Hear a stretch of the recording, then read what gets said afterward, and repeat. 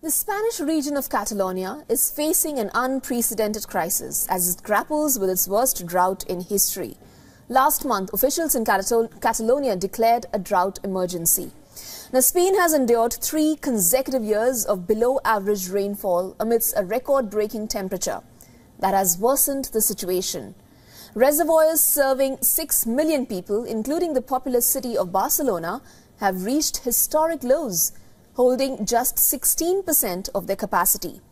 The reservoirs in the northern Catalonia supplied by Ter and Llobregat rivers were just 15% full in February. Now this in comparison to a 70% average for the previous 10 years. In contrast, only 43% of Spain's reservoirs were at full capacity. Many of Barcelona's green spaces have been gradually turning yellow and brown over the past few months.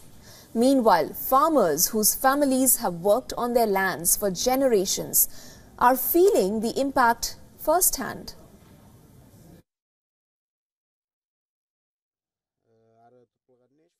We had some rain this morning and they forecast more tomorrow.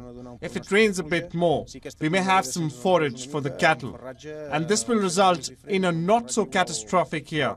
But if the drought keeps on this way, we could be forced to sacrifice some animals. If we don't see an improvement in the coming months, we will have to sacrifice animals. Si, si aquests mesos propers no canvia, eh, s'haurà de reduir bestiar. Environmental activist Joseph Sabater has warned of the urgent need for change. The activists have criticized the government's reliance on desalination plants instead of addressing consumption habits. We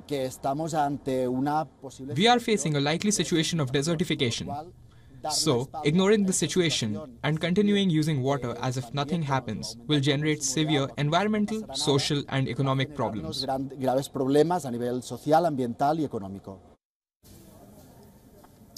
Now, Barcelona has invested heavily in desalination technology, but authorities are now enforcing strict water restrictions, including fines for non-compliance and upgrades to infrastructure.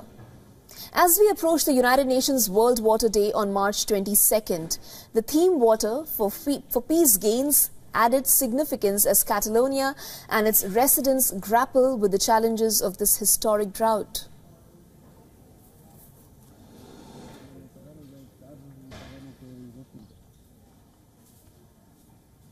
For all the latest news, download the WION app and subscribe to our YouTube channel.